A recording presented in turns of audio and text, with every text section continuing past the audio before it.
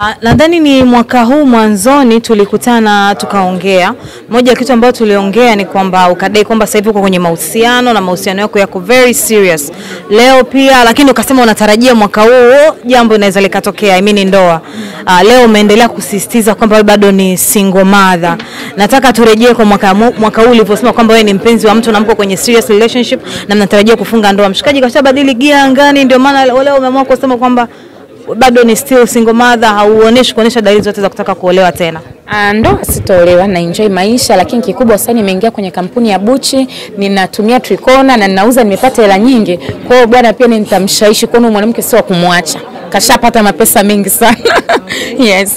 Okay, na watu wame, wameona design kama majirani zako ambao walifungua maduka pembeni yako wamefunga. Tuliona Hamisa alikuwa na duka pembeni kafunga, tumeona Wema alikuwa na duka pembeni yako kafunga. Kitu gani ambacho kiko kwenye upande wako mpaka umeendelea kustiki kwenye biashara? Chini mapenzi pia nimeambiwa naye pia anaendelea kwenda kufunga. Sasa hivi tunaona tu anauzia mitandaoni.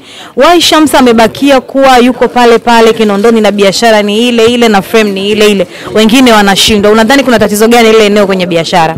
Siwezi kuwazungumzia kwa kweli, au ni mambo yao binafsi, sijui sababu zao, lakini kikubwa tu zaidi nitawatafuta majirani zangu niwapatie sabuni na triko na watumie eh. Kuna siku kuna stori ambazo ilisemekana kwamba wewe na Chidi mmerudiana na ikadaiwa kwamba Chidi anataka kuja kukuoa tena.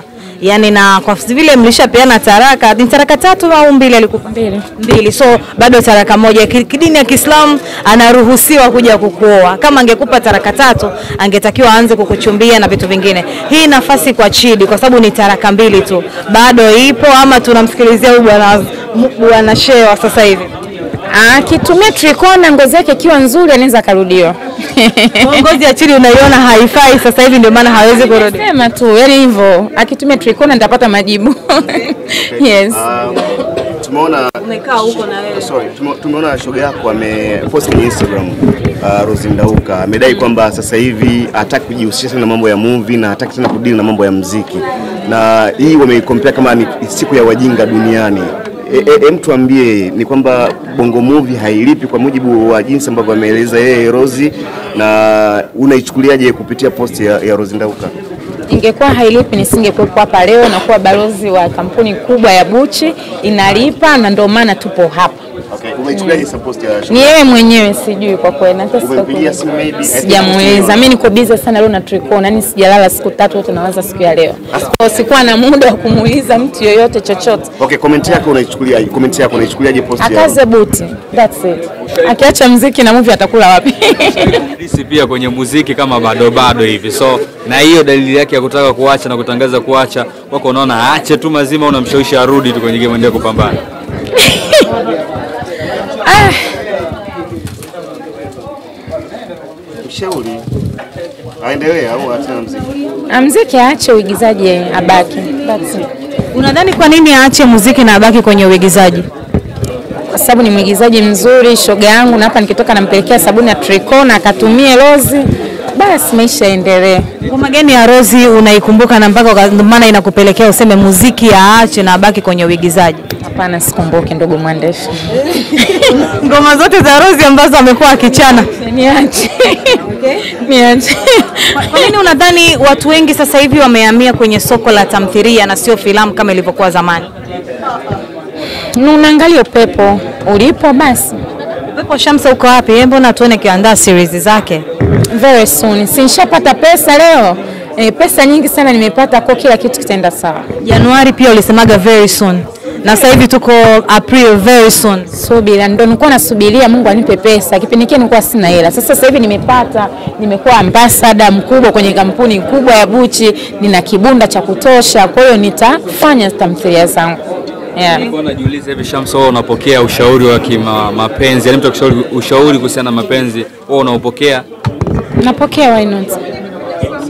Nataka kujua sasa hivi nikakupa nafasi ya kumshauri uh, rafiki ya ah, by the way mwigizaji mwenzio Kajala, utamshauri nini kuhusiana na msanii Harmonize kutaka kurudiana naye na waliachana na alitokea aliotokea? Afate moyo wake pia, achukue sabuni ya Tricona mpeke zawadi. Bango liko Kinondoni by the way. Umeliona hilo bango ambalo Harmonize aache kulia, aje amchukule triko na sabuni ampelekee Kajala, basi Harmonize aache kulia. Eh, ampelekee Kajala sabuni ya Tricona akapendeza akazidi kung'aa. That's it. Amesema- ana mtu wa kumpelekea kwa sababu ana zawadi nyingi sana amezinunua. Alete tutaunganisha na Tricona hapa, mimi nitapeleka na zitapokelewa. Mimi nimejitolea. Uh, nikizungumzia mwonekano wako, uwaga kitu gani unazingatia? Mfano kama leo ni Ijumaa, nili expect kwa sababu unauza madira na leo ni siku ya Ijumaa, labda ungekuja kimadira madira kinini, lakini umekuja na blazer, umepiga I think kama boyfriend jeans hivi na kitu gani umezingatia? Ah, kikweli nimezingatia tu kupendeza na kuonekana vizuri siku ya leo cause leo ni siku yangu special, kwa hiyo nitaka tu nionekane kitu tofauti. Yeah. Okay, kwenye mnakuwaga na magrupu ya wasanii ya WhatsApp eh? Mm. ambako huwa mnaambizana na kila posti mnapeana kupost. Yeah, tunapeana tunasapotiana. Kuna mtu ulishawahi kumpa posti yako yoyote afu akachelewa kuiposti? Sio tu kuchelewa, wengine wanagoma, wanakataa, ndio binadamu, lakini wengine wanakusupport, wanakubali, bwana, mimi na kitu changu tale moja hicho hapo nipostie, hapo hapo wanaposti, wengine wanakataa. Unamshukuru Mungu, huwezi kumlazimisha mtu. Shamsa support wenzake na ndio maana wenzake pia hawaposti. Hapana, mimi na posti, yani mimi cha mtu yoyote akinitumia posti na posti. Yeah. ila huwa una delay, ndio maana wanahisi kama unachelewa kupost. Hapana, wala mimi ukinitumia kitu chako hapo na post, maisha yenyewe ndo haya, tunakufa followers wanabaki. Sasa wai nilinge kuto kupostia kitu chako. I support. Group letu la upatu bado lipo la vikoba. Sikumbuki kwa kweli. Hapo ulivuna lini? Sikumbuki. Okay, um, mara ya mwisho ilikuwa kuna zile kashikashi, hela yangu unilipe, unilipe vipi? Kikoba kiliendelea ama kiliishia pale? Tafuta jamani, siku ya leo unazindua vingine, hela yote Tumepata hela ya ubalozi, tumepata hela nyingi. Nazungumzia kwenye kikoba, bado tupo ama tushatoka huko? Ah, tuache tu ndugu yangu. Hautamani tena kujihusisha na vikoba vya wasanii? Mm, mm, hilo tuliache ndugu yangu. Ikitokea mtu akakwambia Shamsa, kuna upatu, kuna kikoba, utachagua nini? Vyote sivijui, Vyote uvijui. Kwa tukio la mwisho lopigwa. sivijui ndugu yangu. Takuambia watu concerning um, tunaenda kwenye mwezi wa nne, lakini mwezi wa nne tunaelekea tarehe saba, ni kumbukumbu ya kifo cha Kanumba na wengi wameongelea concerning Kanumba, Kanumba vile. Uh, Bongo Movie, kitu gani mna miss kuhusiana na Kanumba mpaka sasa hivi? Uh, tunakumbuka vitu vingi sana. Kikubwa ni uwepo wake. Ni kijana ambaye alijitoa sana kwenye tasnia ya filamu, amewatoa wengi, mojawapo mimi pia alinishika mkono kwa upande mwingine, so kuna pengo lake ambalo kikweli lipo na liwezi kuzibika mpaka kesho kutwa. Kwa hiyo ikifika usiku huwa tunamkumbuka, wenye kumwombea wanamwombea, maisha mengine yanaendelea. Kwa sisi tunamkumbuka zaidi kwa kuzidi kufanya kazi nzuri, tamthilia nzuri. Angekuwepo Kanumba, huenda Bongo, soko la filamu Tanzania lingekuwa lishafika Netflix. I don't know, mi naamini kwenye nguvu za Mungu. So kama Mungu angetaka itokee wakati wa Kanumba ingetokea. Ilikuwa bado Netflix, lakini Kumbe unaona eh, jibu nalo.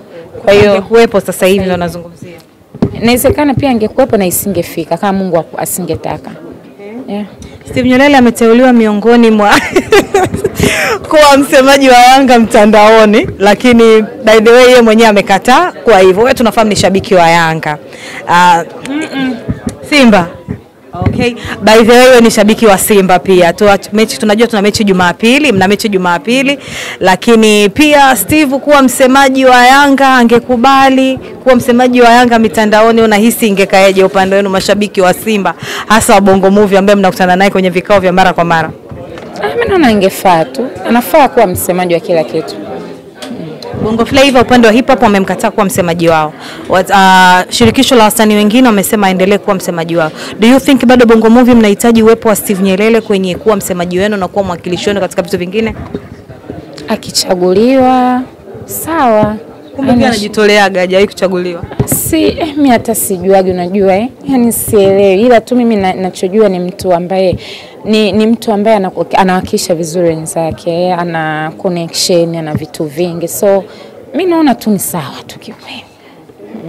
Umepunguza kilo ngapi mpaka sasa hivi? Kiukweli nimezidi kunenepa baada ya kupokea ile dongo amini nini unataje Donge. donge la pesa, nimenenepa kidogo yeah. Ulisema kuna kipindi umeanza mazoezi ila ya Mm, Hii nikianza kufunga nitapungua inshallah. Thank you for your time. Thank you. Na